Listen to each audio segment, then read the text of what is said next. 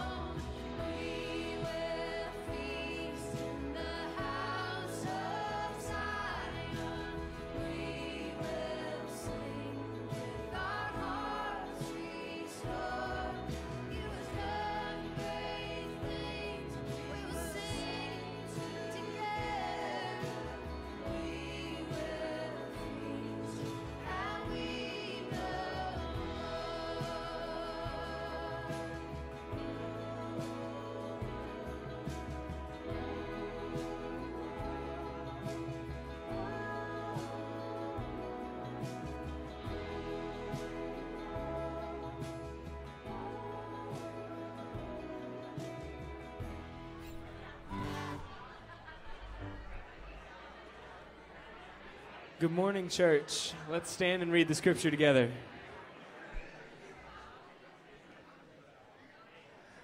The sovereign Lord has given me his words of wisdom so that I know how to comfort the weary. Morning by morning he wakens me and opens my understanding to his will. The sovereign Lord has spoken to me, and I have listened. I have not rebelled or turned away. I offered my back to those who beat me and my cheeks to those who pulled out the, my beard. I did not hide my face from mockery and spitting, because the sovereign Lord helps me. I will not be disgraced.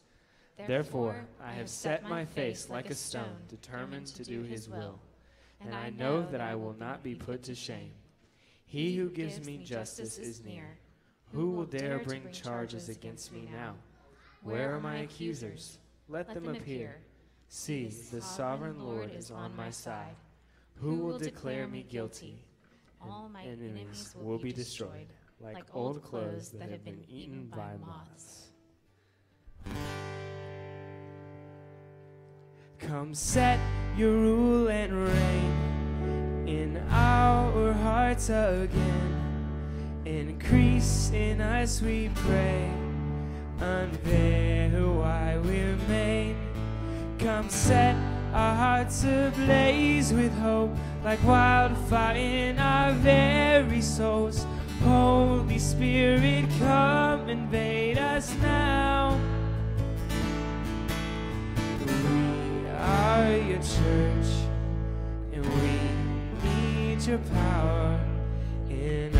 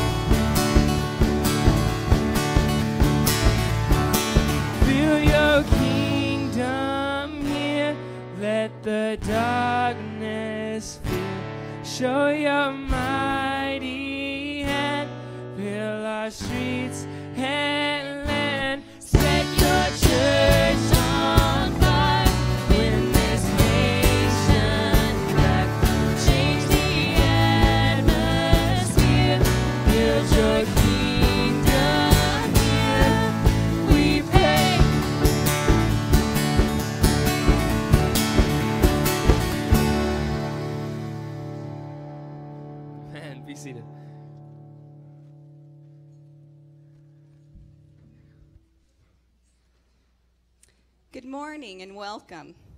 If you're visiting with us today, we'd hope that you might um, go to the breezeway and pick up one of these cards and fill it out. And you can put it in the communion basket during communion time. But we want to get to know you better. And welcome, welcome to the Springs.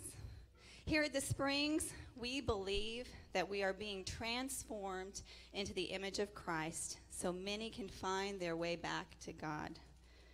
This is our core. Surrendering to the shaping and leading of the Holy Spirit, we become light and salt in the world. Jesus is why we gather each week to worship his name. We hope to grow through Bible study and living in community together as we learn to serve and love each other. And we go. And go simply means that we share our faith in Jesus in our homes, in our neighborhoods, in our workplaces, in the city, and in the world. We gather, we grow, and we go. I have three quick things I wanted to talk to you about today. Just this morning, some events that are coming up, and I wanted to call your attention to it. Number one is Good Friday worship service this Friday. We're going to join here in this gym at 7 o'clock for worship to remember the sacrifice Jesus made for us all. So please put it on your calendar and plan to join us. Second, Easter breakfast. Next Sunday is Easter, and we're joining with Northside Christian Church to have a breakfast here in the gym at 9 o'clock. Bring a dish to share.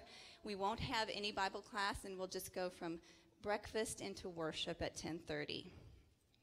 Number three, Wednesday nights in April. We are going to gather at the, our new location at Western and Covell every Wednesday in April. So that'll start on the 4th of April. Um, and so the doors will open at, at 6.30 so if you want to bring a brown, a brown bag dinner you can come and eat we'll eat together just for those who want to do that then at 7 sharp we'll start a do- time of worship and devotional and that'll be the first half of the hour the back half of the hour will be like a family gathering where we talk about um, what's ha- updates in mission um, building renovation updates also some opportunities where you can serve and lead so come, it's an important time for us as a family, and bring your friends too. It's going to be a great time together. There's so much to be thankful for. This season is exciting. God's making a way in front of us as we transition. I hope that you're as excited as I am to see what God's going to do with us as we transition to this new location. Lastly, our scripture reading for today is Philippians 2 5 through 11. In your relationships with one another, have the same mindset as Christ Jesus, who, being the very nature of God, did not consider equality with God something to be used to his own advantage. Rather, he made himself nothing by taking the very nature of a servant, being made in human likeness, and being found in appearance as a man, he humbled himself by becoming obedient to death even death on a cross. Therefore, God exalted him to the highest place and gave him the name that is above every name, that at the name of Jesus, every knee should bow in heaven and on earth and under the earth, and every tongue acknowledge that Jesus Christ is Lord, to the glory of God the Father.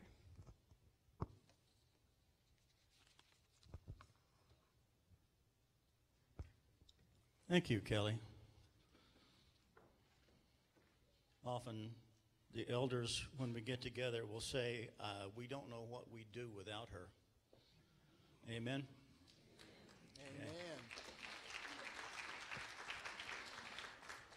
So this is Palm Sunday, and I guess your first clue would be the fact that we passed out a lot of palm fronds.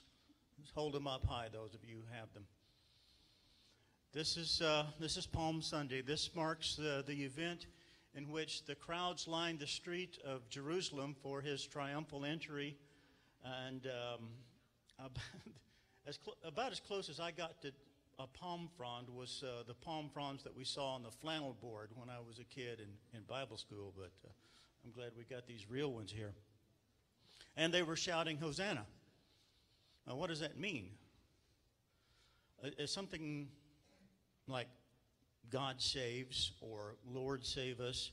And by the time we get to Jesus' time, that had become like a, a rallying cheer, as in a ceremony or greeting, or like we would say, yay. And they were probably thinking, he's our hero. Uh, he's gonna, there's going to be a new sheriff in town. He's going to ride in and clear, clear out those rascals. But really, those people had no idea where all this was headed. Now, there were some people not cheering that day, and that would have been the, Jew, the Jewish ruling classes. And also not cheering were the Romans. Now, this parade through the streets of Jerusalem looked to them like a dangerous uprising, and it had to be stopped. But this movement was headed to the cross. I was reminded of the cross a few years ago when I was looking at some actual Greek and Roman artifacts that a man was wanting to sell. Now, these antiques were uh, actual Roman artifacts taken from a dig in England dating from the time of the Roman occupation. Rome occupied Britain for about 350 years.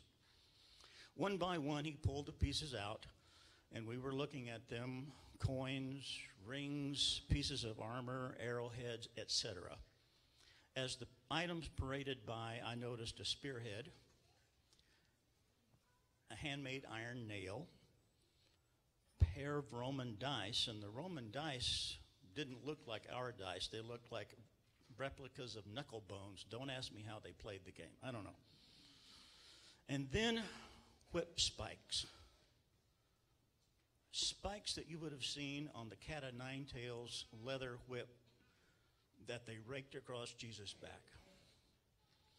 When I got to the spikes, it hit me.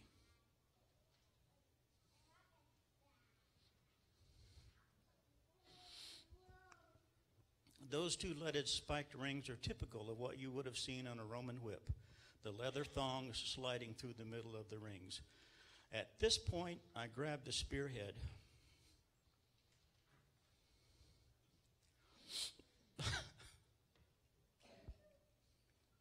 Hi, Kelsey. Hi, Leah.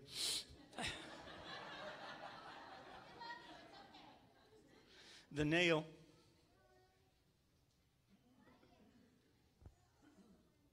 It's in there somewhere.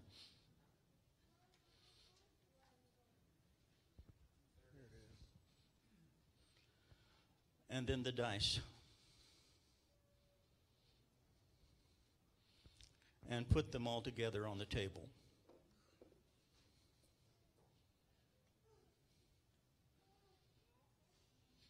I had um, Tina Clark, some of you will remember her, make me a shadow box with those four items. These are items that you would have seen used at Jesus' crucifixion. Now, the seller, being a good Baptist boy, looked at them for a moment and thought and said, Oh. And then again, Oh. Now, why did he say oh? It hit him too at that point. He hadn't put the two hadn't put the things together. Because he realized then that these items like those would have come together at the cross. Now, they came from an earlier time period, but they are actual items. As the palm branches were laid down at Jesus' path into Jerusalem, items like these met him at the cross. Nails pierced his hands. Soldiers gambled for his clothing with dice. a spear pierced his side, and before he even got to the cross, they flogged him with a whip barbed with spikes like those. Hosanna! God saves. God will save. He did. He does. The cruciform life calls to us. Hosanna.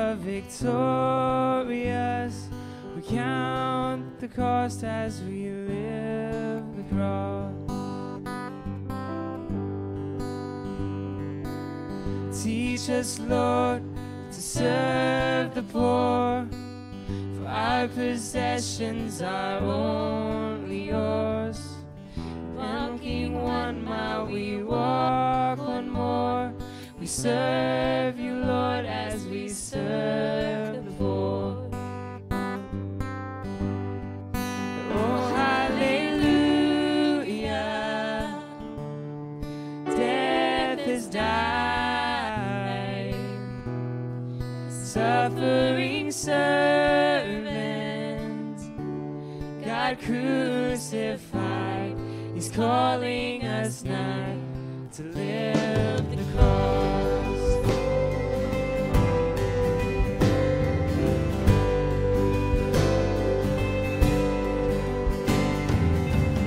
Teach us, Lord, to preach the word every ear that your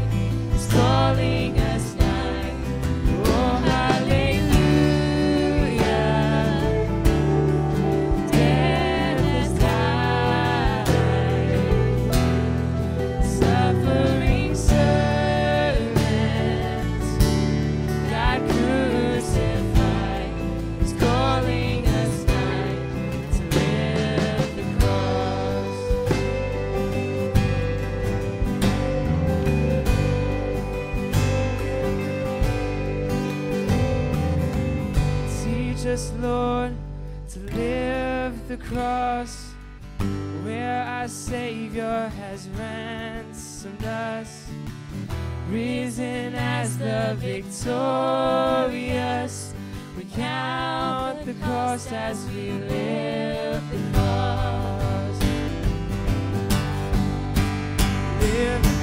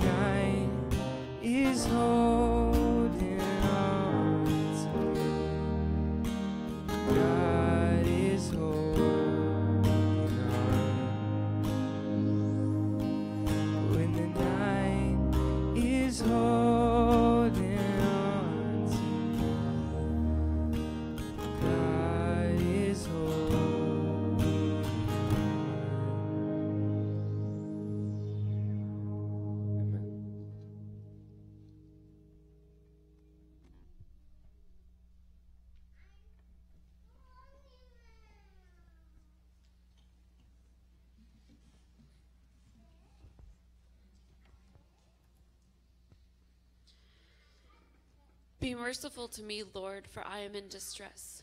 My eyes grow weak with sorrow, my soul and body with grief. My life is consumed by anguish, and my years by groaning. My strength fails because of my affliction, and my bones grow weak. Because of all my enemies, I am the utter contempt of my neighbors, and an object of dread to my closest friends. Those who see me on the street flee from me. I am forgotten as though I were dead. I have become like broken pottery. For I hear many whispering terror on every side. They conspire against me and plot to take my life. But I trust in you, Lord. I say, You are my God. My times are in your hands. Deliver me from the hands of my enemies, from those who pursue me. Let your face shine on your servant. Save me in your unfailing love. This is a psalm of lament, and in a few moments we'll actually sing a lament song uh, here. Uh, the writer of this psalm is suffering, and he cries out to God in his suffering and asks for deliverance. We suffer physically, mentally, emotionally, spiritually, and we lament that and call out to God for deliverance. Jesus suffered, and he lamented his suffering and cried out for deliverance. And we serve a Savior who came and suffered with us.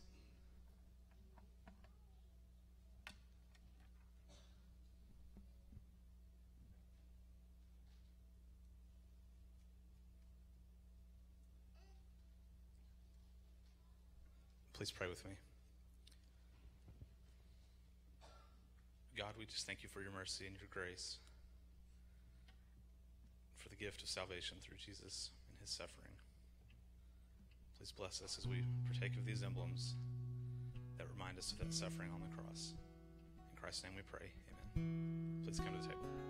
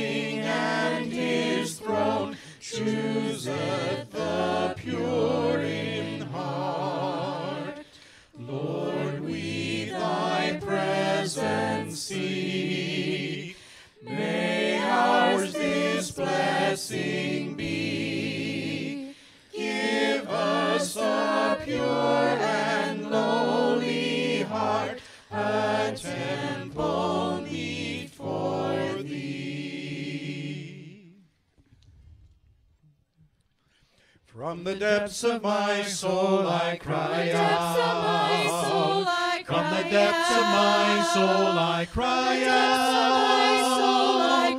Lord, can you hear me? Have mercy, O God. From the depths of my soul I cry out. In the midst of the sea I cry out. In the midst of the sea I cry out. To the sea I cry save me, the water is over my head. In the midst of the sea I cry In the out. Of the sea I cry there is a time to mourn.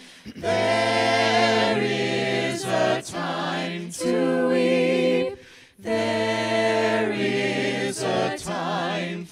sorrow when deep calls to deep. In my moments of grief I cry out. In my moments of grief I cry out. Grief, I cry Have you forgotten me? Where are you, Moments of grief I cry out. Ah, there is a time to mourn. There is a time to weep. There is a time for sorrow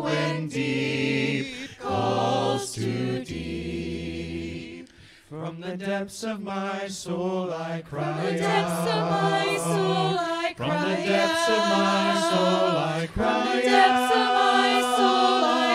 Still I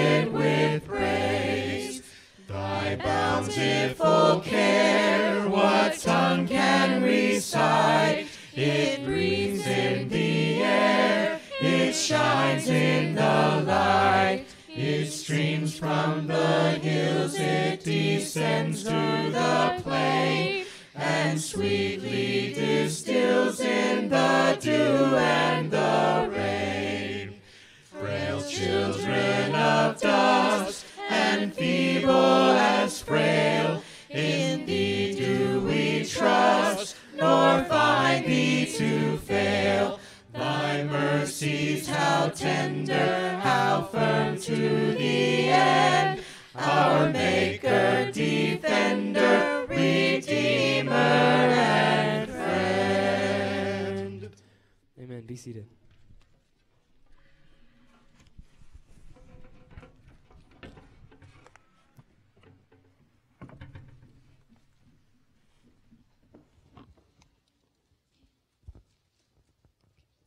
As they approached Jerusalem, they came to Bethphage and Bethany and the, at the Mount of Olives. Jesus sent two of his disciples, saying to them, Go to the village ahead of you, and just as you enter it, you will find a colt tied there, which no one has ever ridden. Untie it and bring it here. If anyone asks you, Why are you doing this? say, The Lord needs it, and will send it back here shortly. They, will, they went and found a colt outside in the street, tied at a doorway. As they untied it, some people standing there asked, What are you doing untying that colt? They answered as Jesus had told them to, and the people let them go. When they brought the colt to Jesus, they threw their cloaks over it. He sat on it. Many people spread their cloaks out on the road, while others spread branches they had cut in the field. Those who went ahead and those who followed shouted, Hosanna! Blessed is he who comes in the name of the Lord. Blessed is the coming kingdom of our father David. Hosanna is in the highest heaven. Jesus entered Jerusalem and went into the temple courts. He looked ar- he looked around at everything, but since it was he, since it was already late, he went out to Bethany with the 12.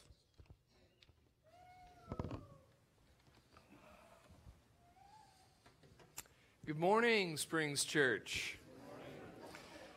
Welcome to you in the name of Jesus Christ this morning. Welcome to Palm Sunday. You're here, you made it. And uh, as, as Kelly was saying, as we've been saying, uh, this is the Sunday that we celebrate the triumphal entry of Jesus into Jerusalem.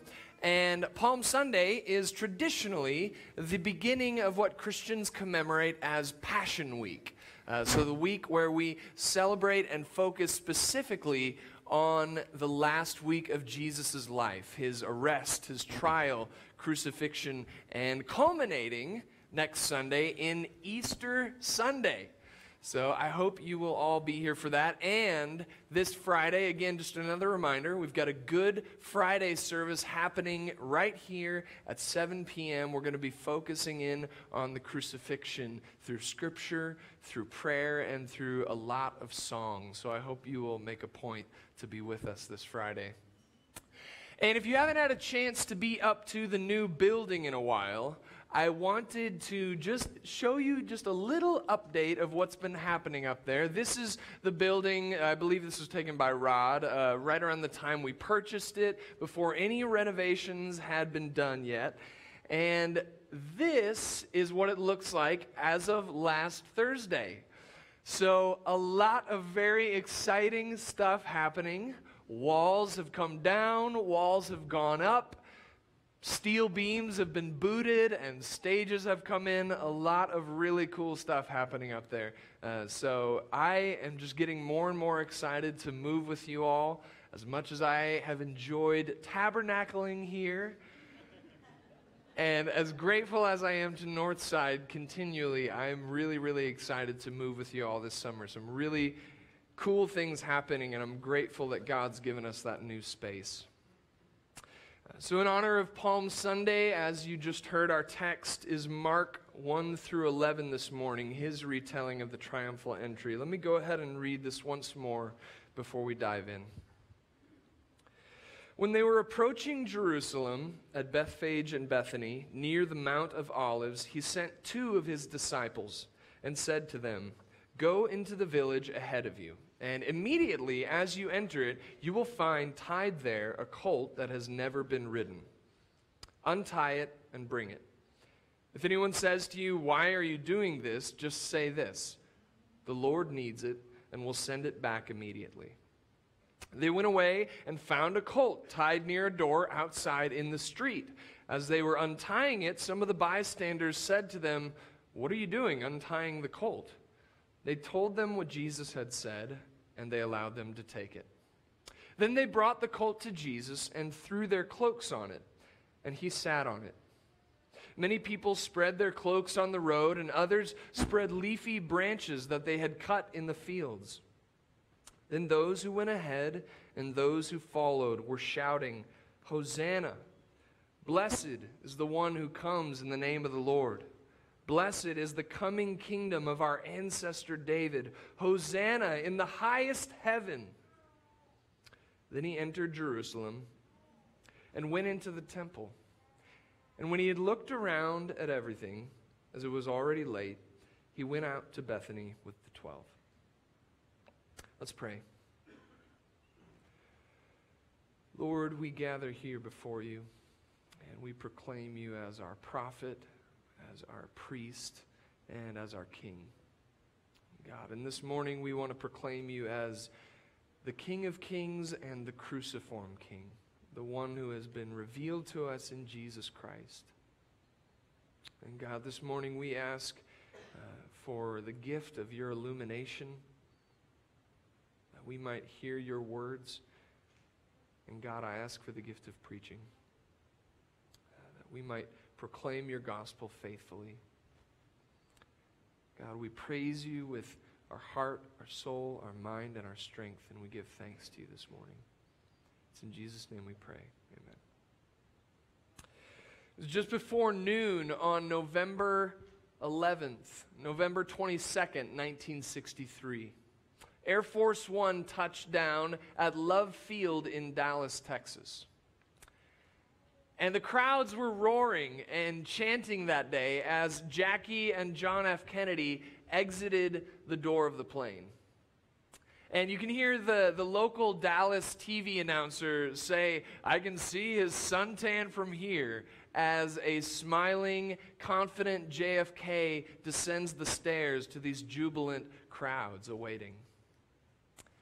And it's a wonderful image. It's, it's a great image to see this beloved president and these crowds that, that have welcomed him into their city. But it's also a difficult image. It's also a difficult image specifically to see when you know the other images that are coming. It's a difficult thing to see this entrance when you know that that iconic pink dress that Jackie is wearing will soon be covered in the president's blood. It's difficult to see JFK hold his head high when you know in less than an hour his wife will be holding him in the back of that fleeing convertible. It, it's difficult to see such power and, and jubilation. Two images so close together in time and yet so far apart in content. And Palm Sunday is also a little bit of a strange day for us, right? Because we have to hold these two very opposed images together in our brains. You know, Palm Sunday, we celebrate this triumphal entry of Jesus entering the holy city of Jerusalem. But it's hard to think about him entering the city when we know full well how he will leave it.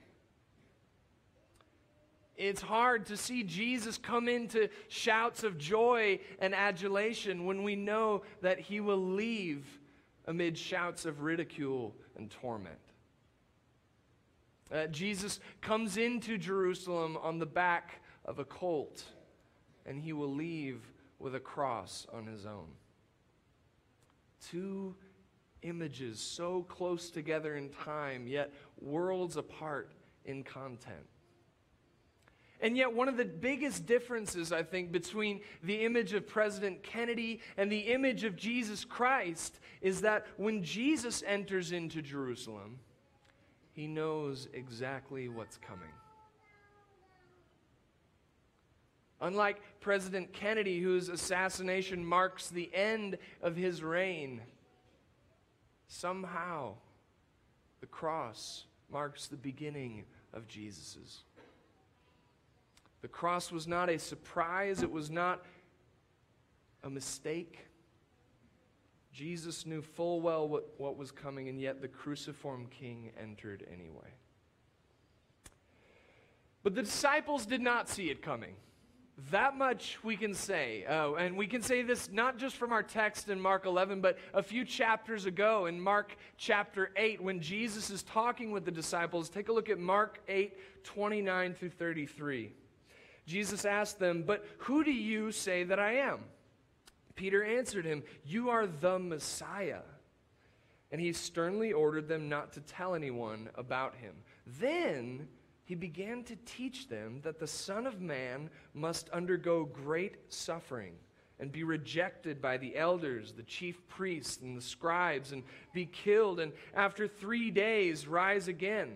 He said all this quite openly, and Peter took him aside and began to rebuke him. But turning and looking at his disciples, he rebuked Peter and said, Get behind me, Satan, for you are setting your mind not on divine things but on human things. I like to think of this scene in kind of an updated way that, that maybe Jesus and Peter are starting a business together. And they're about to pitch this startup to a, a group of wealthy, possible investors. And so CEO Jesus gets up and and he says, All right, we, we've got this wonderful product. It's, it's going to be revolutionary, and I've got an incredible plan for this company. This is how we're going to get some growth. Step one, we're going to file for bankruptcy. And you can see Peter kind of just sitting there trying to keep the smile plastered on his face. You know, okay, Jesus, that's nice. what a jokester. That's our CEO. Okay, tell him the real plan, man. And Jesus is like, that's that's the plan actually is we're, we're going to file for bankruptcy. After that i'm going to be resigning in disgrace. Okay jesus. Uh, let me let me talk to this guy in the hallway for a second. Just give us a minute here. What are you talking about? Uh, you know you can just see peter saying jesus we can't win through loss. You know jesus we can't possibly find victory in defeat, find success in failure.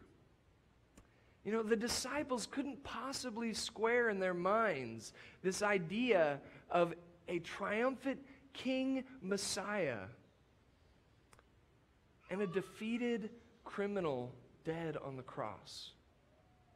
These two images that Palm Sunday calls us to hold together could not possibly have made sense to them. And we see it not in Mark 8 only, but also in Mark 11. Go back to verse 7 of our text this morning. Then they brought the colt to Jesus and threw their cloaks on it. And he sat on it.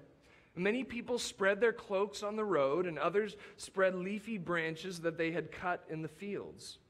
Then those who went ahead and those who followed were shouting, Hosanna!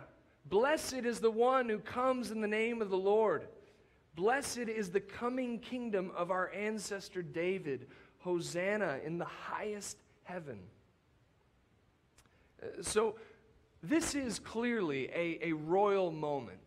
Uh, we've talked about this before that Jesus is channeling Zechariah chapter 9, where, where Zechariah says, Hey, behold, Jerusalem, rejoice a king is coming to you, going to ride in humble on a donkey. And so Jesus has designed this moment to be a highly symbolic act to say, hey, I am the Messiah.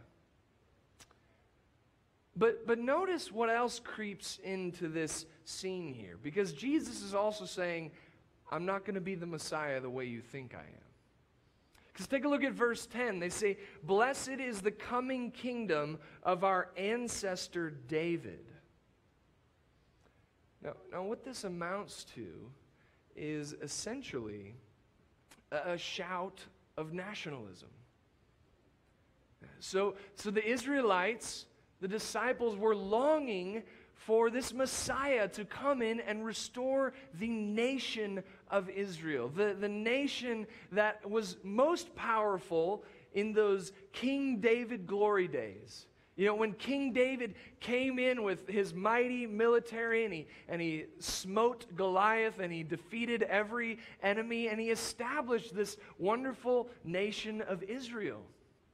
And that's what they're wanting. They're saying, Blessed is, is the coming kingdom of our ancestor David. Blessed is the one who, who brings back the glory days of this Israelite nation. That's what we want, Jesus. And Jesus says, Guys, I am the king. I am going to be the Messiah, but not in the way you think, and not in the way you want.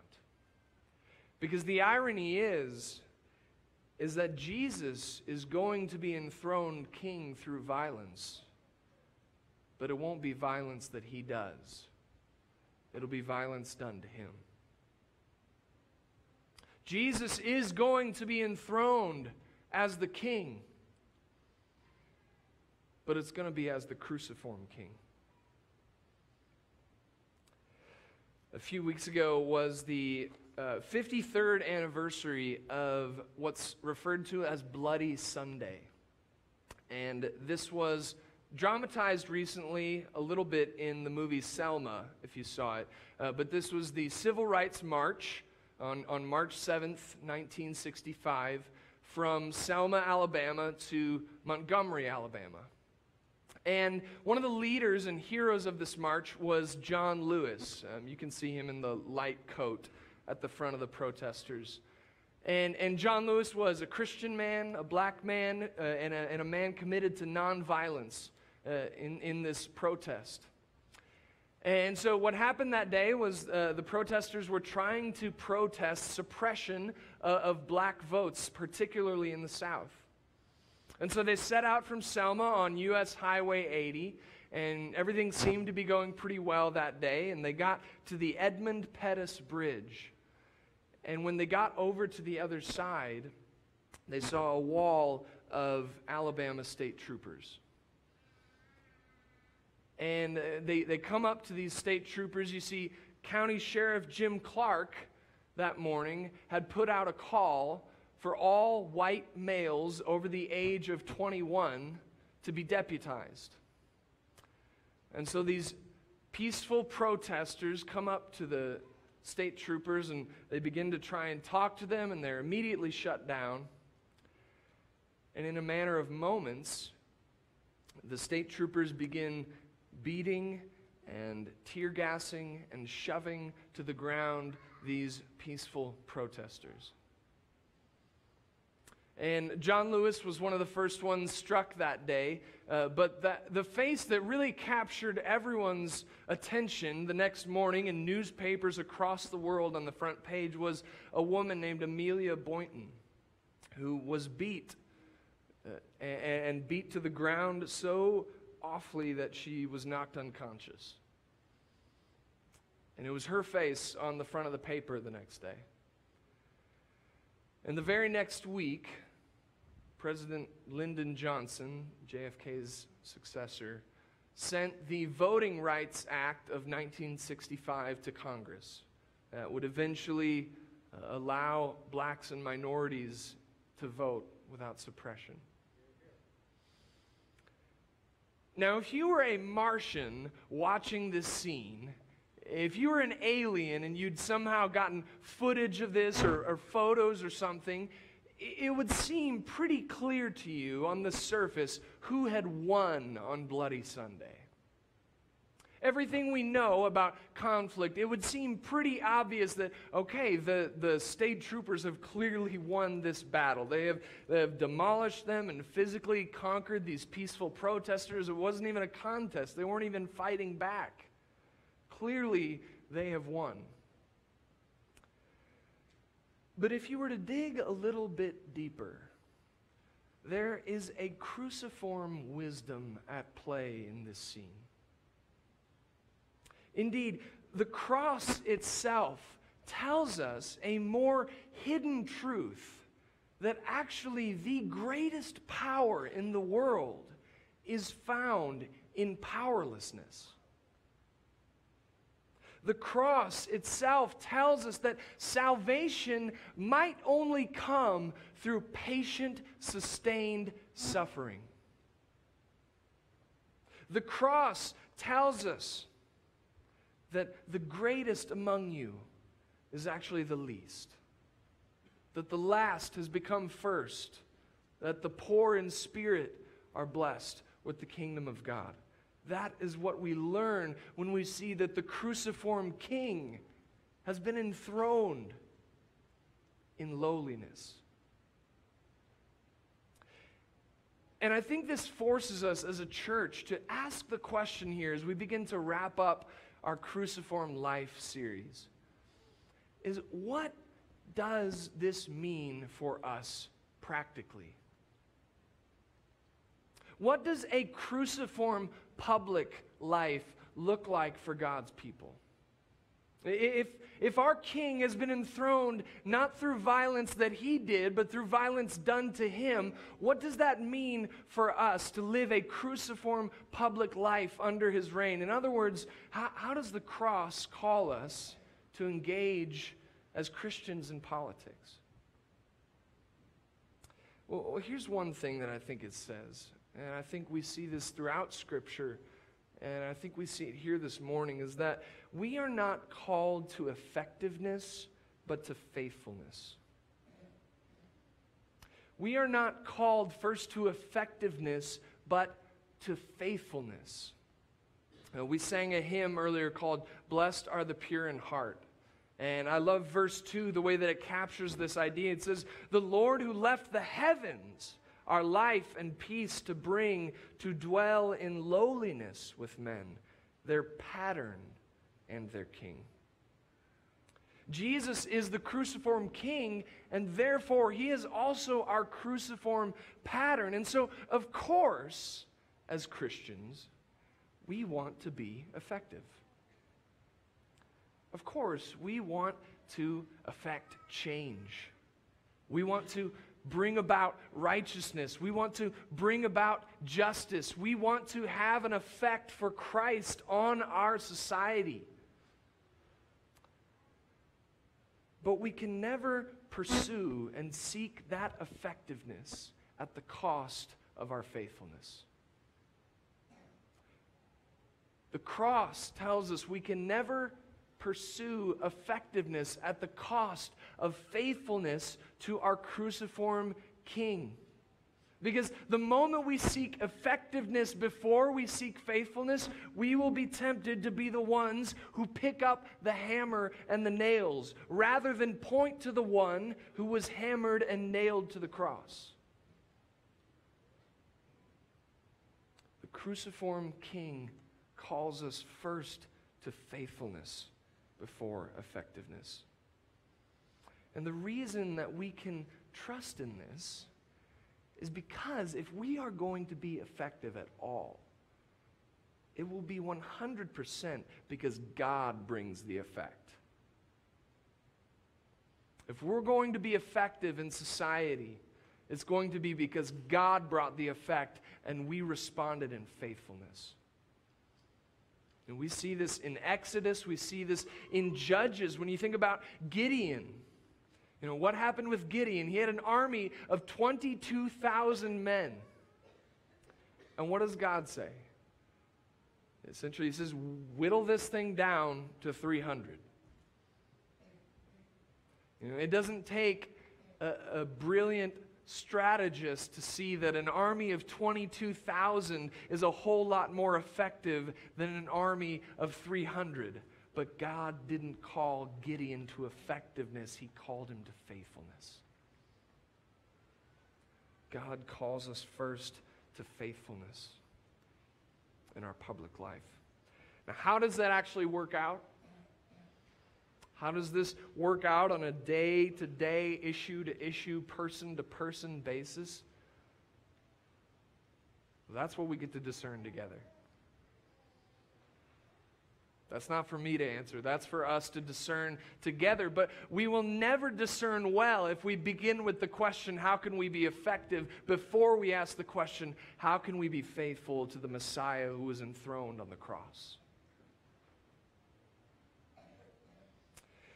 Because when the Messiah died on the cross, so died Israel's hopes of a temporal, earthly kingdom.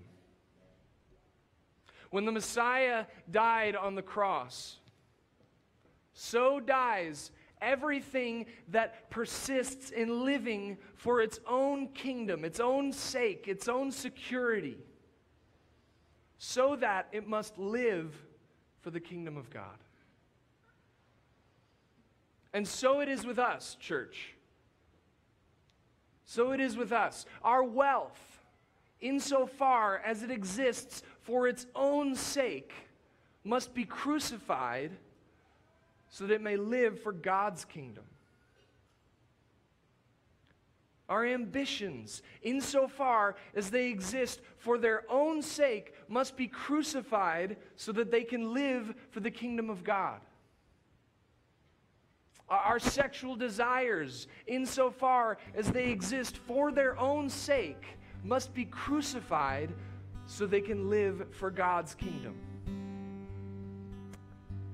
our political affiliation, insofar as it exists for its own sake, must be crucified so it can live for God's kingdom. Our theology, our beliefs, our faith, this church, insofar as they exist for their own sake, must be crucified so that they can live for the kingdom of God.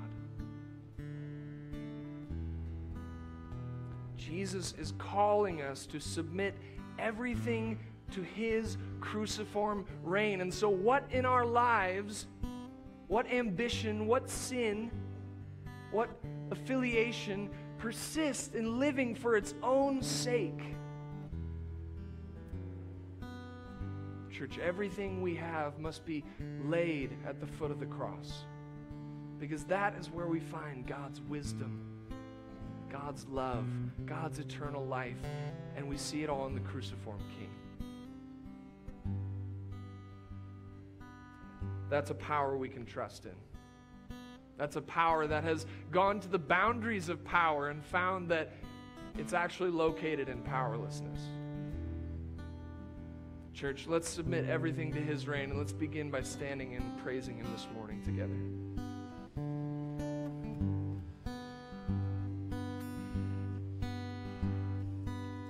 Teach us, Lord, to live the cross. You, our Savior, has ransomed us, risen as the victorious.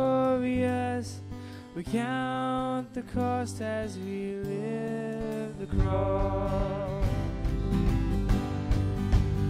Live the cross.